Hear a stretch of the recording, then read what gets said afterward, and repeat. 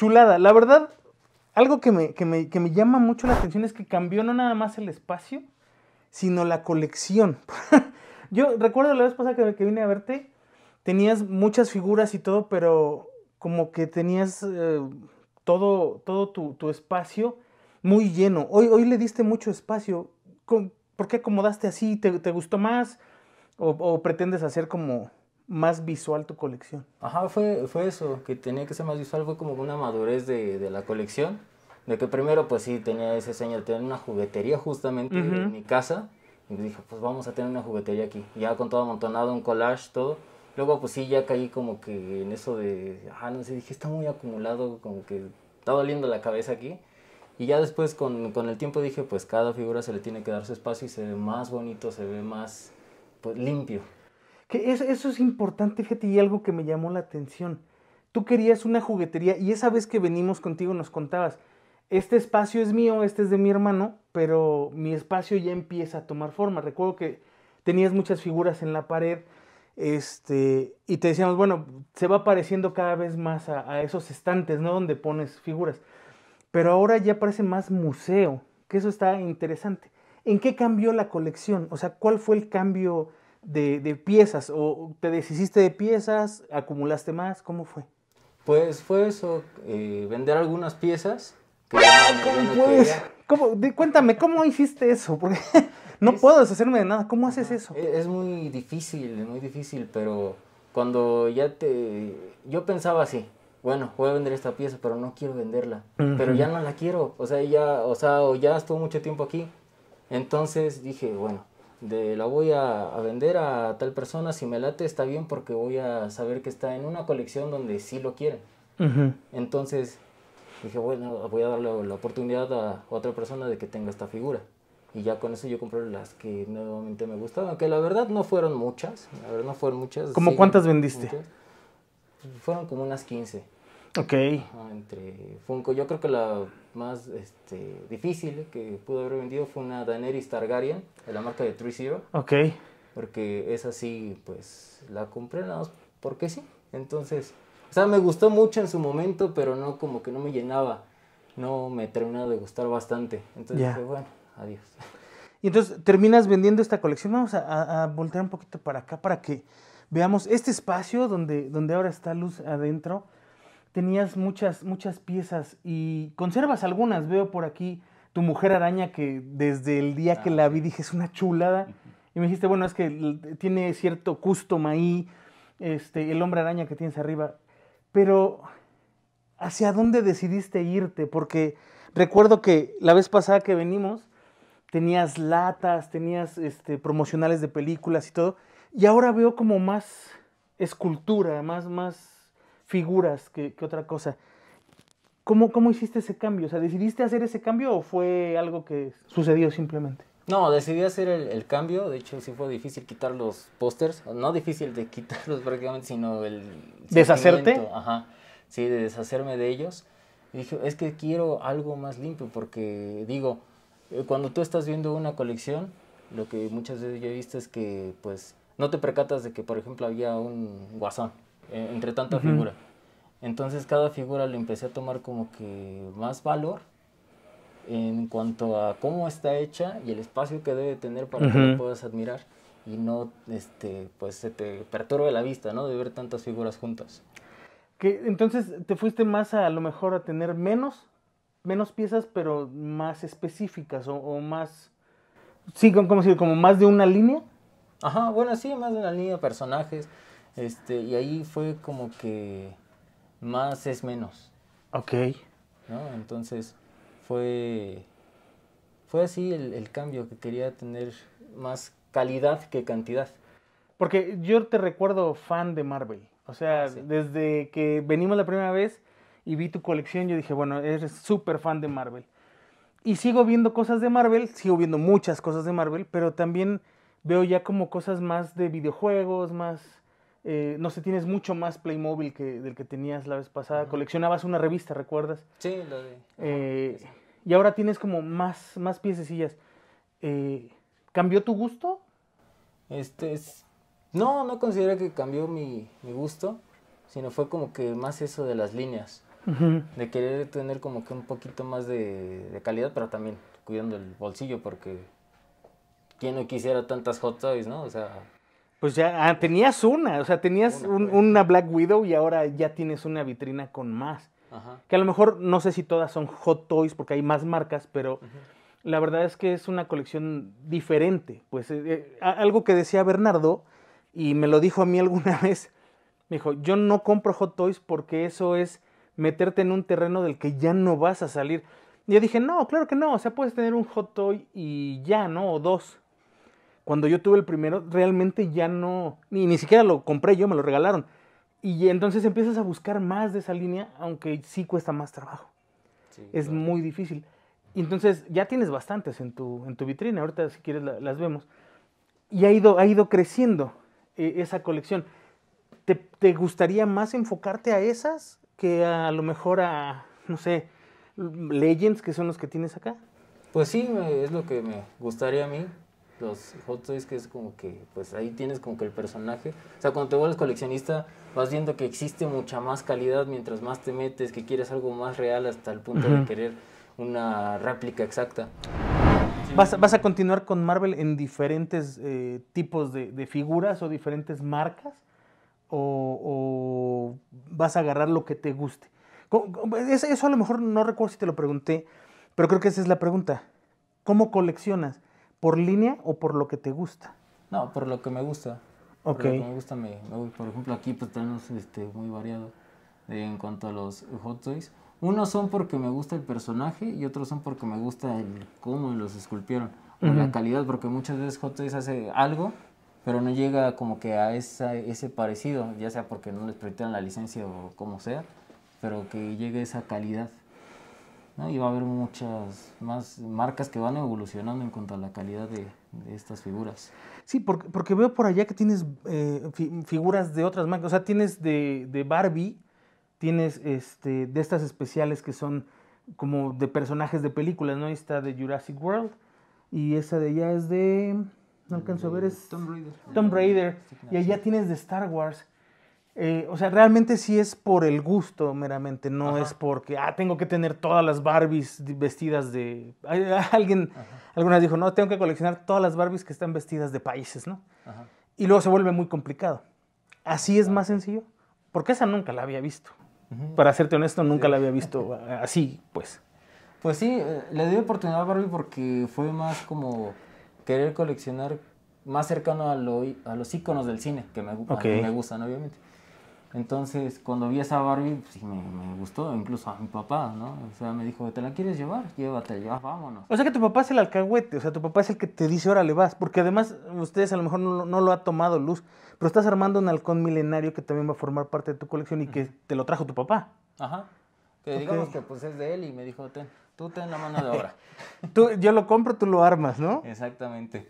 Pero sí me he dado cuenta que no son muchas las cosas que, que yo a comprar, sino que son cuando tenemos un gusto en común, que es muy fuerte, que, que también le gusta bastante a él, que es el original. Entonces ahí nada más ha sido este halcón, la muñeca y este pues invirtió el digamos el 50% del Kylo Ren de Hot Toys, que también le había gustado. Que, que digo, también las figuras en, en, esa proporción son caras, ¿no? Es, digo, a lo mejor no son extremadamente inalcanzables, pero no cuesta lo mismo que un, un este, a lo mejor que, que un Legends o una cosa parecida, ¿no? Exacto, sí, cambia bastante. Y también es cuestión eso de espacio. espacio. Por ejemplo, antes sí me iba así como, ay, la figura tal va a salir, este, me la compro. Y cada mes comprar este, figuras porque pues eran más accesibles. Entonces dije, no, ya quiero algo de calidad y me quiero ir más despacio para disfrutar y no llenar tan rápido los espacios de las vitrinas. Entonces es se saborea más cuando es un poquito más lento. Es una de las cosas que se aprende coleccionando realmente. Cuando realmente coleccionas, aprende a ser eh, paciente, ordenado y más selectivo en las cosas. Eso es algo que a mí me falta todavía mucho, porque yo ni soy, o sea, sí soy, sí, sí soy, no soy paciente, Blues dice paciente, eh, no soy paciente para, o más bien soy paciente para encontrar algunas piezas porque hay piezas que, no, van a caer luego, luego y tienes que estar esperando a fuerza y, estar buscando. Pero la parte de la organización creo que es algo Y no nada más a mí, creo que a muchos coleccionistas les pasa que no encuentran la forma de organizar sus colecciones, porque a lo mejor no tienes el espacio suficiente o uno no tiene la imaginación suficiente de repente para decir, ok, tengo 500 piezas, pero tengo dos metros cuadrados, ¿cómo las pongo en ese espacio? ¿no? Eso es algo que también vale la pena y, y se ve bonito como lo hiciste aquí. Sí, bastante. Y va un, pues, algo que yo hacía, real- realmente haciendo, este, bueno, viendo Visita Coleccionista y otras colecciones, era justamente eso, inspirarme, por no decir copiarles. No, pues, es que, sí, inspirarme en cómo acomodaban sus colecciones para yo así como que darme una idea de cómo podía hacerlo, de cómo eh, podía inspirarme, por ejemplo, en alguna idea original. Entonces, por eso que, que yo vi que me gusta mucho el, el espacio de visita coleccionista, porque ves otros mundos, Sí. ves otras eh, pues formas de pensar y de, de acomodar dentro del mismo mundo que es el coleccionar, ¿no? Entre nosotros, colegas de que nos gustan mucho las figuras. Que fíjate, ahorita que dices eso, estoy haciendo memoria de las visitas a coleccionista que hemos hecho con anterioridad. Y sí, o sea, recuerdo coleccionistas con museos, literalmente, o sea, vitrina para todo, luces para todo, pasillos, espacios. Pero también eh, recuerdo coleccionistas que tienen sus muebles con, este, como si fuera una bodega de un supermercado y todo lo tienen ahí acomodado.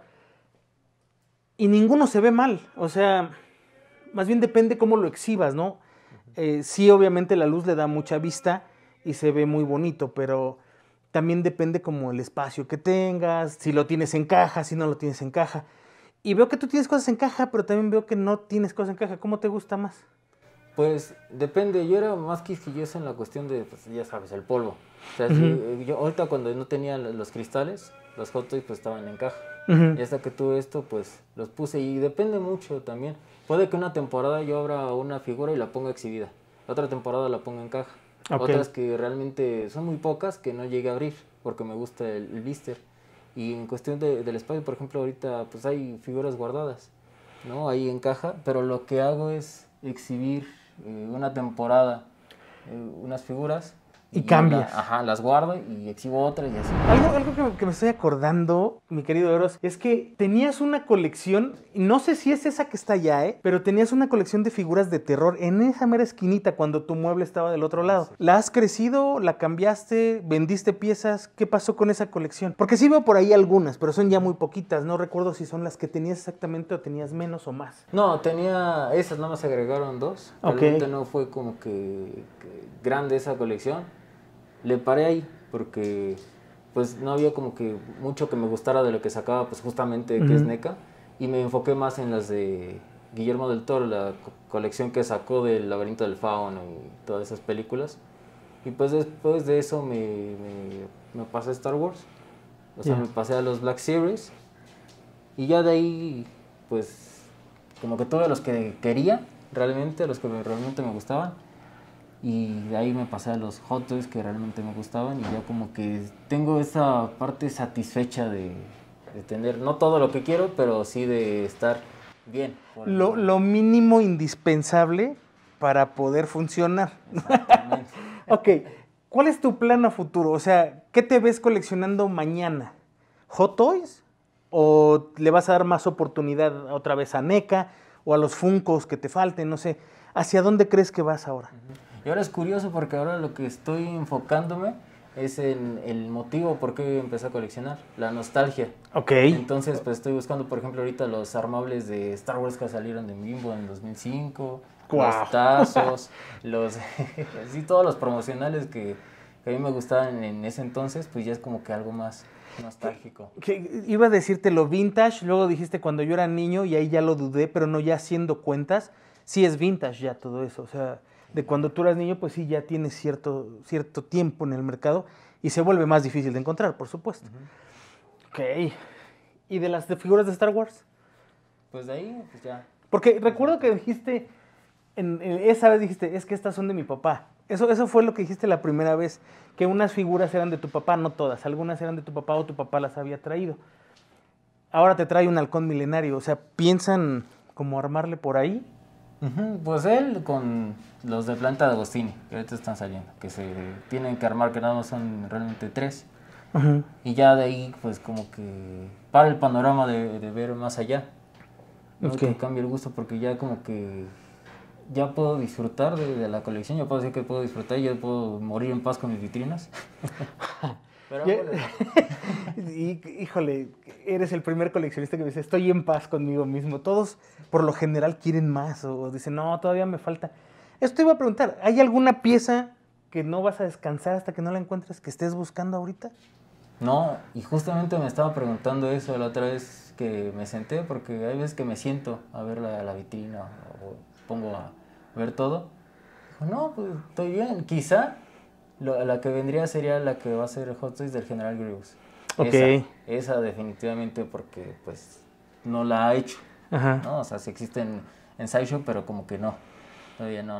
Es como, no, no voy a pagar tanto por algo que no me termina de gustar. La verdad es que Sideshow y Hot Toys son bien difíciles porque de repente Hot Toys saca la mejor figura y luego Sideshow saca la mejor figura, pero ves las dos de, de la misma marca y una está horrible y dices, ¿cómo es posible que hicieras esta maravilla y luego hicieras esta porquería? Y así pasa, pero y sí tienes que estar como buscándole. Entonces, esa sería la, la pieza en general. La, este, la backpost de Batman, el mismo Batman. Y como que lo que siempre quiero alcanzar, una estatua de Sideshow del diseñador de este, Scott Campbell. Ok, no, pues sí le tira alto, ¿va? Sí, sí le tira una lanita. Yo creo que si yo pudiera ahorita y me dijeran, ¿sabes qué? Te vamos a dar chance de una última pieza. Elige bien, sabiamente, compraría el batimóvil de, de Hot Toys. Creo que ese es así como mi wow. Y a ti, por ejemplo, que te gusta ese Batman, ¿cuál Batman sería? El de Nolan. El, Christopher ¿El de Nolan? Ajá. O sea, nada que ver con el batimóvil que te digo. No. Pero pues también es, es, es interesante, ¿no? Porque también veo lo de las épocas. Por ejemplo, lo que hago con Marvel, que es un super hit ahorita, Marvel Studios. Digo, en unos años pues, lo vamos a ver como si hubiera sido, como ustedes vieron, no sé, He-Man, como vieron Ujú. este, todas las películas de, de que son de, de los ochentas, pues como que se va a vivir como que ese mismo hit. Y la que más me gustó fue la de Infinity War, ¿no? Que fue como que un, un super hit. Ok. Entonces yo creo que cuando crezca pues, voy a sentir esa misma nostalgia con las figuras que tengo ahora. Si te, te tu- si te tuvieras que deshacer de alguna de tus Hot Toys para comprar ese Batman, ¿cuál sería? Qué No sé, tristeza. está- no, sí estaría bien difícil. Yo creo que sería... No, no sé. Quizá el, el Bruce Lee que tengo ahí. Pero también, o sea, también me, me pesa porque es una figura que le gustó a mi mamá. O sea, Ok. fue como, ah, bueno, ¿qui- ¿quieres este? Vamos a... Me gusta a mí también. Vamos a tenerlo aquí. Pero que realmente sería, yo creo que sería el depredador. Depredador, o sea, dejarías ir un depredador por un Batman. Sí. Qué Era- difícil. es- e- esas decisiones, ¿sabes? Yo no he aprendido a tomarlas. Y alguien me decía, ¿te podrías dedicar fácilmente a vender juguetes? Y le digo, no, no podría, porque cualquier juguete que entre a mi casa ya no sale. Entonces, Ah, sí. eso es bien difícil porque tienes una colección que en algún momento decides, como tú, pues a lo mejor dejo ir este carrito, ¿no? Porque John Wick ya no me gusta, ¿no? Por algo. Pero voy a conseguir el del padrino, ese sí quiero y lo voy a traer ahora. Y dejar ir el de John Wick, dices, ¡ay! Es como difícil, aunque ya no lo quieras, que es lo que decías, o sea, ya no lo quieres, pero no lo puedes dejar ir, no es nada fácil. Oye, Eros, pues la verdad es que es un, un gustazo ver tu colección eh, nuevamente. Ha cambiado pues prácticamente toda, sino que el 80%, 90%. Y ha sido pues realmente muy bonito conocer eh, lo que has estado cambiando, lo que has estado haciendo. La vez pasada que venimos, ustedes se han de acordar, te trajimos una playera. Bueno, Ah, sí. ya subimos de nivel, ahora te vamos a regalar un pin con muchísimo cariño Ay, de juegos gracias. juguetes para que lo tengas en tu colección y bueno, pues que ojalá te, te- te guste muchísimo. ¿No? Sí, claro que sí. Un gusto tenerlos por aquí. Ah, ok. Espero que no sea la última vez. No, cuando más, quieras. Allá hay cajas si quieren, ¿eh? Hay cajas de Ah, eh, eh, lo que estaría bueno sería venir y Todos. a ver, abre la caja que hay aquí, sácalo todo.